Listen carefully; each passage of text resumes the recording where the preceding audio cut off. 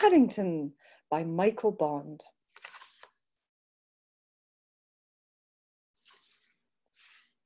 Mr. and Mrs. Brown first met Paddington on a railway platform. In fact, that was how he came to have such an unusual name for a bear, because Paddington was the name of the station. The Browns were waiting to meet their daughter, Judy, when Mr. Brown noticed something small and furry near the left luggage office. It, it looks like a bear, he said. A bear? repeated Mrs. Brown. On Paddington Station? Don't be silly, Henry, there can't be. But Mr. Brown was right. It was sitting on an old leather suitcase marked Wanted on Voyage. And as they drew near, it stood up and politely raised its hat. Good afternoon, it said. Uh, may I help you? Well, it's very kind of you, said Mr. Brown, uh, but as a matter of fact, we, we were wondering if we could help you. You're a very small bear, said Mrs. Brown. Where are you from? The bear looked around carefully before replying. Darkest Peru. I'm not really supposed to be here at all. I, I'm a stowaway. You don't mean to say you've come all the way from South America on your own, exclaimed Mrs. Brown. Whatever did you do for food? Unlocking the suitcase, the bear took out an almost empty glass jar. I ate marmalade, it said. Bears like marmalade. Mrs. Brown looked at the label around the bear's neck. It said quite simply, Please look after this bear. Thank you.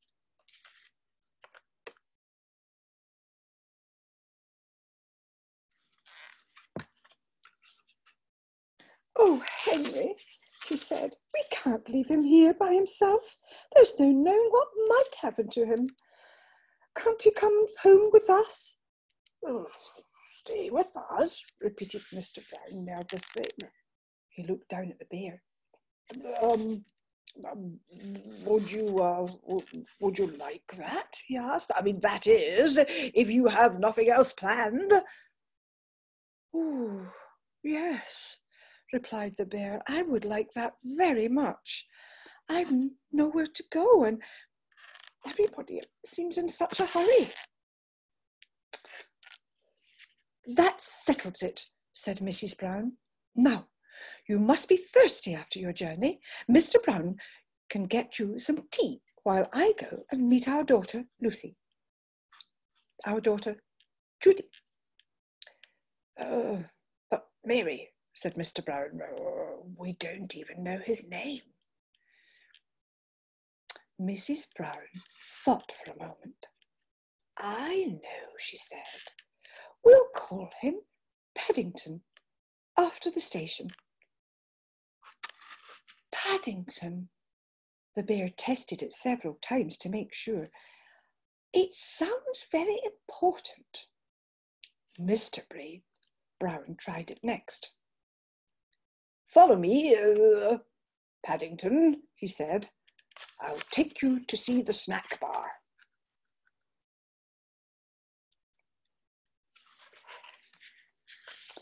Mr. Brown was as good as his word. Paddington had never seen so many snacks on one tray, and he didn't know which to try first. He was so hungry and thirsty, he climbed right up onto the table to get a better look. Mr. Brown turned away, pretending he had tea with a bear at Paddington Station every day of his life. Henry, cried Mrs. Brown when she arrived with Judy, what are you doing to that poor bear? Paddington jumped up to raise his hat, and in his haste he trod on a strawberry tart, skidding to the, in the cream, and fell over backwards into his cup of tea. Uh, I, I, I think we'd better go before anything else happens, said Mr. Brown. Judy took hold of Paddington's paw. Come along, she said. We'll take you home, and you could meet Mrs. Bird and my brother Jonathan. Mr. Brown led the way to a waiting taxi. Number uh, 32, Windsor Gardens, please, he said. The driver stared at Paddington. Bears is extra, he growled. Sticky bears is twice as much. And make sure none of it comes off on my interior. It was clean when I set out this morning. The sun was shining as they drove out of the station. There were cars and big red buses everywhere. Paddington waved to some people waiting on a bus. Several of them waved back. It was very friendly. Paddington tapped the taxi driver on the shoulder. It isn't a bit like Darkest Peru, he announced. The man jumped at the sound of Paddington's voice. Cream!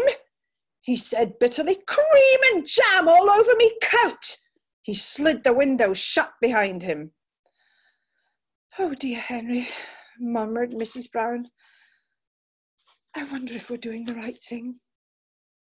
Fortunately, before anyone had time to answer, they arrived at Windsor Gardens, and Judy helped Paddington onto the pavement. Now we're going to meet Mrs. Bird, she said. She looks after us. She's a bit fierce at times, but she doesn't really mean it. I'm sure you'll like her.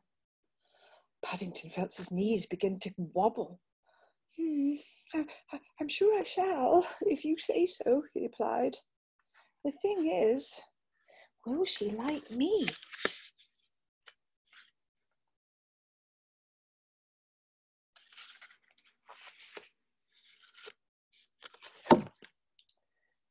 Goodness gracious, exclaimed Mrs. Bird. What have you got there?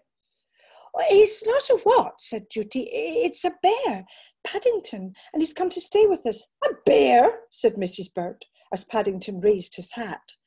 Oh, well, he has good manners, I'll say that for him.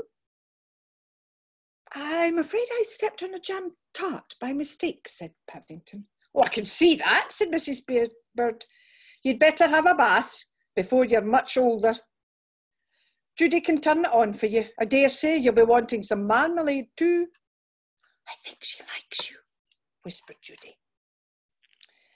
Paddington had never been in a bathroom before, and while the water was running, he made himself at home.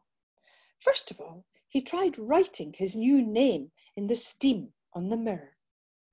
Then he used Mr. Brown's shaving foam to draw a map of Peru on the floor. It wasn't until a drip landed on his head that he remembered what he was supposed to be doing.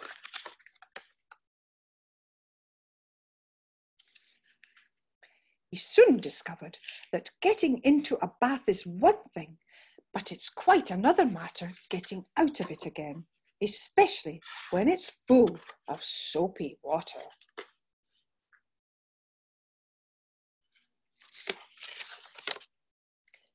Paddington tried calling, Help! At first in a quiet voice so as not to disturb anybody, then loudly, Help! Help! When that didn't work, he began bailing the water out with his hat. But the hat had several holes in it, and in them and, and, and his map of Peru soon turned into a sea of foam.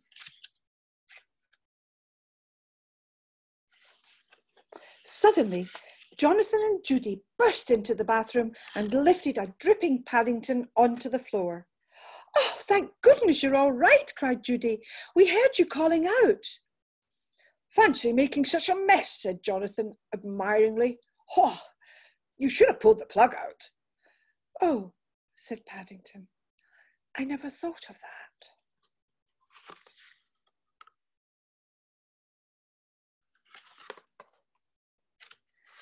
When Paddington came downstairs, he looked so clean. No one could possibly be cross with him. His fur was all soft and silky, his nose gleamed, and his paws had lost all traces of the jam and the cream. The Browns made room for him in a small armchair, and Mrs. Bird brought him a pot of tea and a plate of hot buttered toast and marmalade.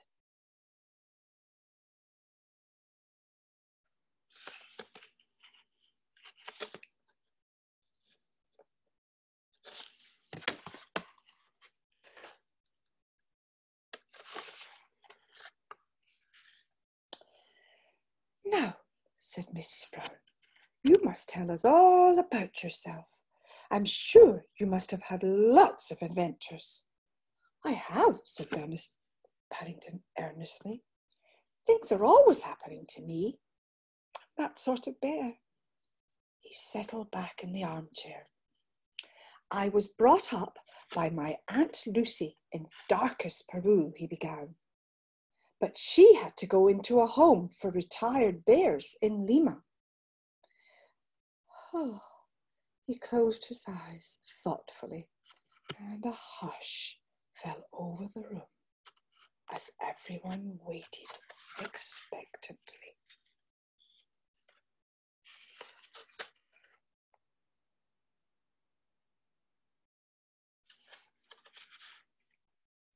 After a while, when nothing happened, they began to get restless. Mr. Brown tried coughing. then he reached across and poked Paddington. Oh, well, well, I never, he said. I do believe he's fast asleep. After all that's happened to him, said Mrs. Brown, is it any wonder